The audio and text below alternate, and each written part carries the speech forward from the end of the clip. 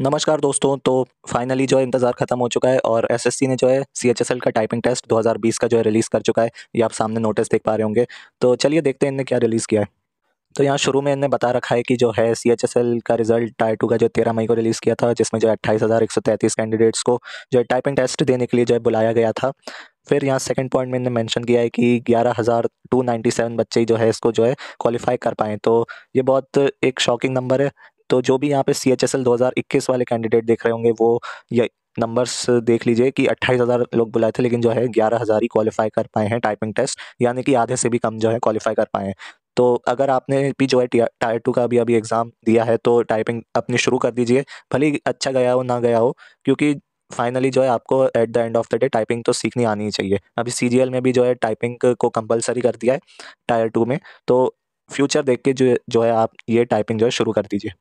फिर यहाँ इनने ये भी बता रखा है कि जो है टू फोर्टी सेवन कैंडिडेट्स जो हैं, वो डीओ पोस्ट के लिए क्वालिफाई कराए गए हैं। चलिए आगे कट ऑफ़ देख लेते हैं कितना रखा है। तो डी के लिए जो है वो रिज़र्व कैटेगरीज के लिए सात परसेंटेज एरर अलाउड है। अनरिजर्व के लिए जो है पाँच परसेंटेज एरर अलाउड है।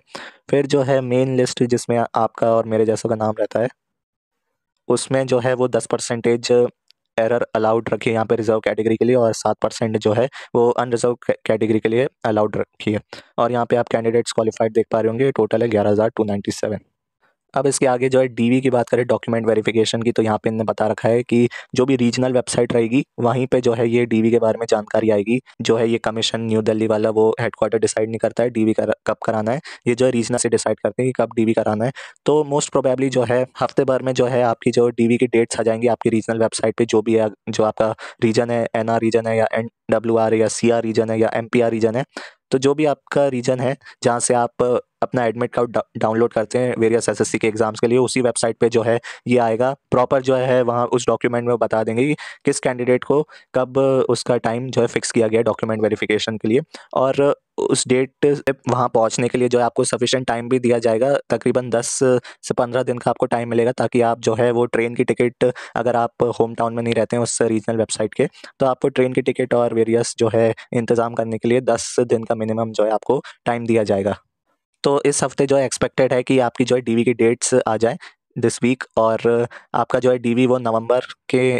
पूरे नवंबर में आपका करवा दें। नवंबर के जो है स्टार्टिंग से जो है आपकी डीवी होना शुरू हो जाएगा और नवंबर के बाद जो है दिसंबर में जो है आपका फाइनली दिसंबर पंद्रह के बाद मोस्ट प्रोबेबली आपका जो है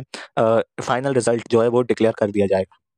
तो इतना आप एक्सपेक्ट कर सकते हैं अभी एसएससी से। अभी हाल ही में आप जानते भी होंगे कि एसएससी जो है सैटरडे और संडे भी काम कर रहा है वीकेंड्स पे भी काम कर रहा है तो इसलिए जो है इतना जल्दी एक्सपेक्ट कर सकते हैं। और शायद सैटरडे संडे एसएससी के कर्मचारियों को काम ना करना पड़े, इसलिए जो एक के बाद एक वो रिज़ल्ट अपडेट किए जा रहे पहले एमटीएस का आया, फिर दो हज़ार का आया और अब जो है ये टाइपिंग टेस्ट का एक के बाद एक रिज़ल्ट वो रिलीज़ किए ही जा रहे हैं। खैर, आगे चलते हैं। तो चौथे पॉइंट में यहाँ पे ये दिया है कि details of the error percentage of the candidates in D S typing test will be uploaded on the website of commission shortly यानी कि जो है, कोई डेट नहीं बताइए, जो भी आपका एरर परसेंटेज हुआ होगा टाइपिंग टेस्ट में, वो शॉर्टली जो है अपडेट कर दिया जाएगा। वो वन वीक का टाइम भी हो सकता है और उससे ज़्यादा का भी हो सकता है। तो जब भी जो है ये अपडेट आएगा, मैं आपको जो है चैनल पर अपडेट कर दूँगा।